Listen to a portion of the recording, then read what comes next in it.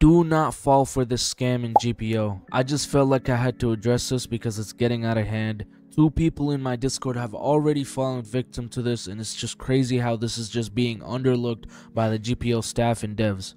Now, please do not clown these people. You might say this is such a stupid way to get scammed. No one would fall for it, but some people just go in game and try to have fun and trade fairly, not knowing others have no manners and the decency to play fairly.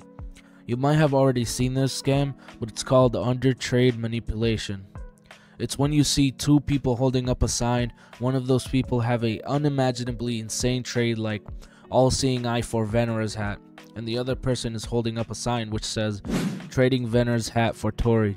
This tries to force the victim to get a L trade, expecting to get a W trade afterwards, but you get scammed and lose a high percentage of value. I hope this video gets out there and people know about the scam so they are aware. Obviously, the staff or devs are not going to do anything about it, but I hope they can share the message. That's all I had to share with y'all. Thank you for watching. Have a wonderful day.